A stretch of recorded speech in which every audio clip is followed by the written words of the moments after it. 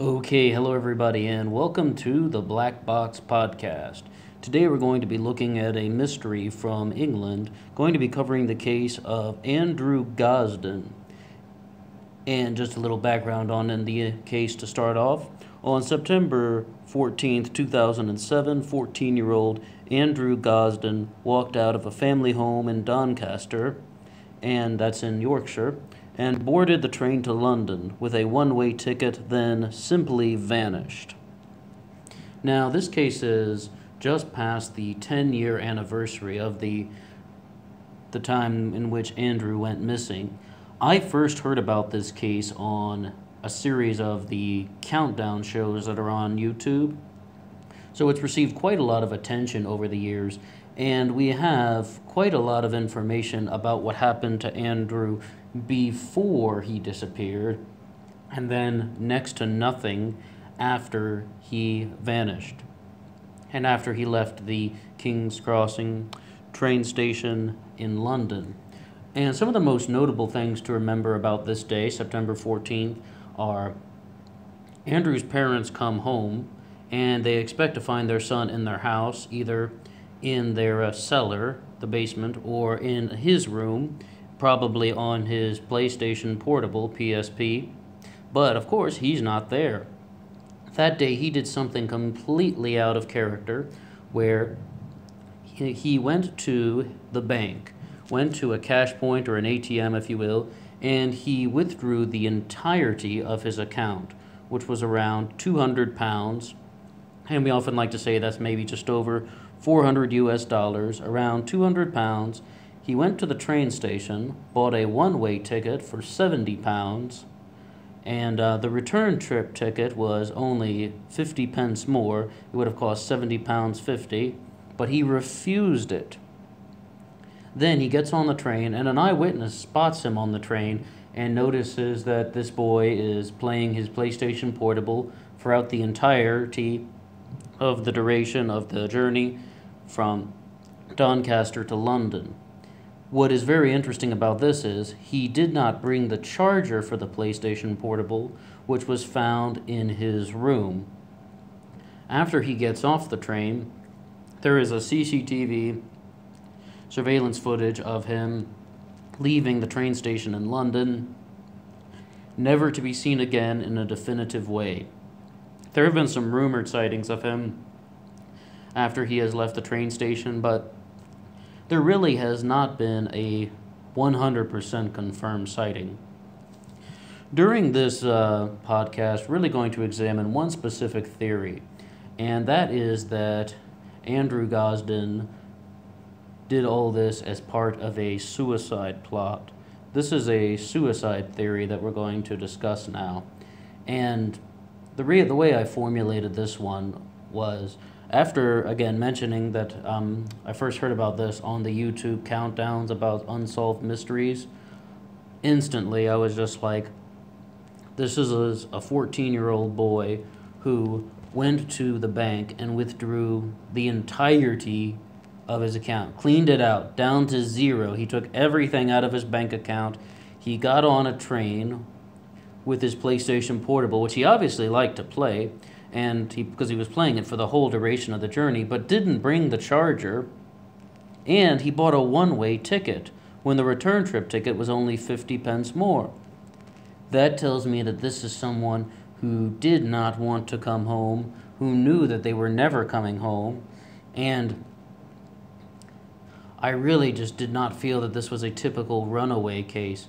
It almost just sounded very sad, you know, and I think the PlayStation charger was something that sort of tipped it that way to me like this is some boy that just wants to get away and either try to die alone or not to spare the family any more grief and um, you know not to disturb the family in the sense of having them find his dead body that was the feeling that I had. The supporting points that I would like to say for that are why not with why would you withdraw the entirety of the account if you thought you were coming back? For example, some people have mentioned that maybe he left his PlayStation portable charger at the home because he was just going to come back. He was planning on coming back, and something bad happened to him along the way. Or perhaps he didn't buy the return trip ticket because he went to London to meet somebody, to meet a person, and that person had said that they were going to take him back.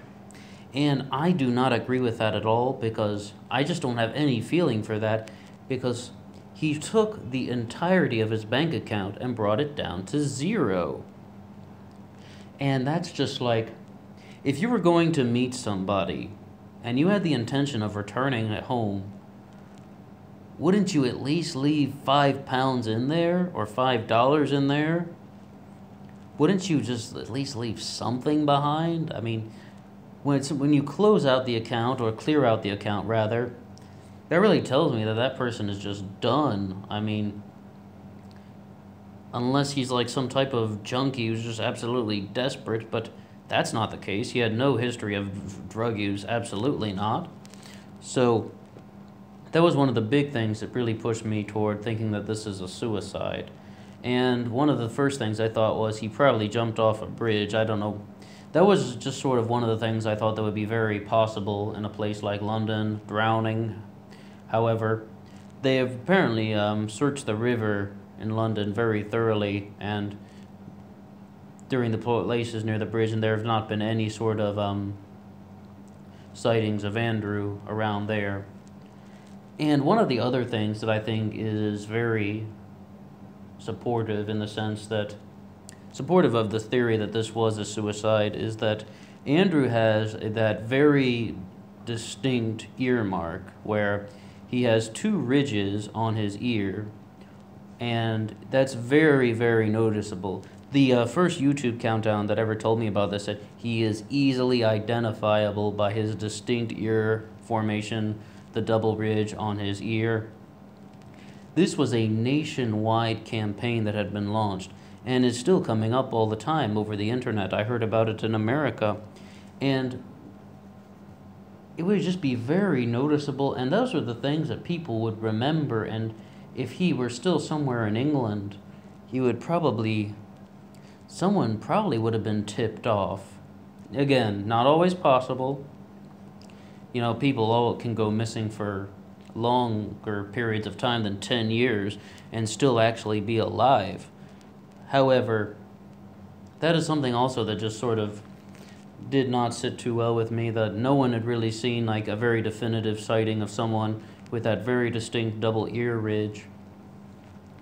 And like the re- other reasons that I don't um, feel that this was something else other than suicide is one of the theories that is actually sort of a theory supporting murder is that Andrew got off the train in London, walked out of the station, and you can see a reflection of a person in the train station window. And they think that is a man that Andrew was walking to, and he walked to the man to um, meet him, and he was like abducted and um, sadly murdered. And I just thought that was a very, very weak lead. They saw the reflection of what looks like to be a man at a train station. How do you know who he was waiting for? How do you know what he was doing there? It's a train station. There are going to be many other people that are not involved in this case, and that felt like way too much of an assumption. If you look at the sort of things that you do know, a 14 year old boy does something very abnormal and out of character. He leaves home without telling anyone, empties his bank account down to zero, gets on a train without taking the charger for his PlayStation Portable, which he plays for the whole journey on the train. He, he really, really liked video games. And then he is never seen from again. Not to mention, he also bought the one way ticket when the um, return ticket was only 50 pence more. That tells me this is somebody who wanted to disappear. And I think that if this had been a runaway, not 10 years, I think there would have been um, a little bit more definitive evidence uh, turning up, or at least a lead, maybe some more definitive sightings or similar things such as that. And we just we don't really find that. And it's very sad and his family has gone through so much and they have really really desperately tried to get him back and it really turns out to be a real tragedy, but he probably had some sort of awareness that it would be very very heavy on them. He probably felt that this would be a very a very emotional thing for his parents to endure and he was just like I just want to get out of here. And like I just don't think that there is enough evidence to support the fact that he was abducted or that he was murdered. It's all just assumption. Who would he have met in London? Does anyone have an idea? Where did that person take him? What did they do? That there's way too much guesswork associated with that. So that sort of lead, uh, leads me to believe that the simpler option is that this was a suicide and that Andrew made some effort to sort of just get away from a place that was making him feel bad. He wanted to just get far away and then end his own life. And I really feel, I even feel weird just talking like that. And one of the things his family says that is against the suicide theory is that they just said there was no sign of depression, there was no sign of any sort of bad feeling at all in him, but he was 14, he was a teenager. Um, these, these events happen all the time, and even like at my university, the uh, two people that committed suicide while I was in university, um, people said the same things about them. They showed no signs of depression, they showed no signs of being suicidal many people are um, not going to show much on the surface when they come when it comes to something like that. I believe that's even the subject of a Keanu Reeves movie, uh, Permanent Record. I believe. Um, sorry, it's been a long time, but I think that even that's even the subject of that. That someone takes their own life when they seem completely happy, completely normal, and everything is going for them. So it's very difficult to try and understand it's, I'm sorry, it's very difficult to try and say that someone would not be suicidal, especially at the age of 14. You know, teenagers have so many different emotions and feelings going up and down all the time, and it's difficult to know, and we may never get a def- definitive answer. However, it's just if you look at the facts that he bought a one way ticket he took his bank account down to zero and he didn't tell anyone where he was going. This just sounds like to me someone that does not want to be found and someone wants to be to disappear off of the face of the earth and I mean, if this were a runaway, don't you think there'd be more things missing? More clothes, more objects from the room? I mean, it's possible, but I mean, wouldn't you even bring a change of underwear if you were going to be running away? If you spent 70 pounds on the ticket, you only have 130 pounds just to start a new life. I mean, I understand maybe at 14 we're not the best when it comes to planning, but to me, that's just like, that does not sound like someone who was planning to leave and come back. Or that does not sound like someone who was planning to leave and continue anywhere.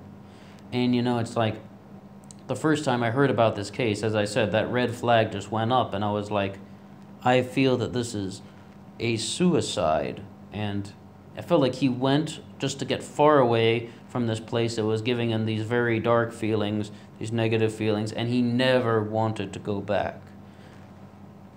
And it's just very, very tragic, and it's a very sad for the family. And we hope that one day that expanding the discussion like this can bring them closure and trying to get some answers by sharing information on the internet will hopefully bring an answer to the story.